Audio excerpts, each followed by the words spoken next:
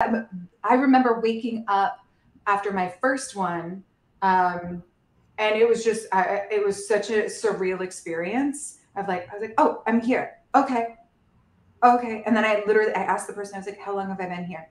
And the nurse goes, five minutes. I was like, oh, okay. Great. Ah. I popped right back after the first one.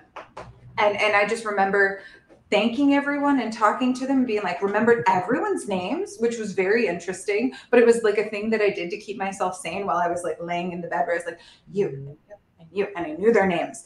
Um, oh my gosh, yeah. But it was very, very strange, very strange. Because then time didn't make any sense. As soon as I woke up, time was like non-linear. It's true. It's it's almost like you're in another dimension. Yeah you, we might actually like dimension travel. Like when you sleep, you do that too.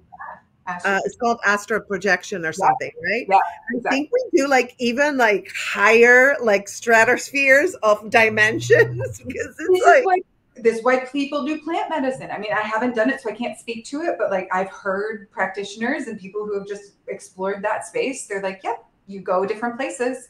I'm like, oh, so that makes sense. We we might have because when I came back, my sense of time, like I like I knew I was in the room, I knew where I was, but he's like, oh, we have to hold you for another 15 minutes, and it was a blink of an eye.